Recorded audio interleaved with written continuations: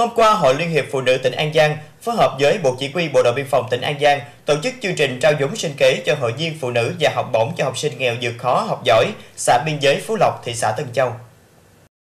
Chương trình đã trao tặng 10 suất học bổng cho trẻ em gái nghèo vừa có học giỏi, mỗi phần trị giá 650.000 đồng và giải ngân cho 20 hội viên phụ nữ thuộc diện hộ nghèo, hộ cơ nghèo, hộ khó khăn dây vốn phát triển sinh kế. Mỗi hội viên được hỗ trợ dây với số tiền 5 triệu đồng, lãi suất 0%. Tổng kinh phí trên 106 triệu đồng từ nguồn vốn hỗ trợ, đồng hành cùng phụ nữ biên cương.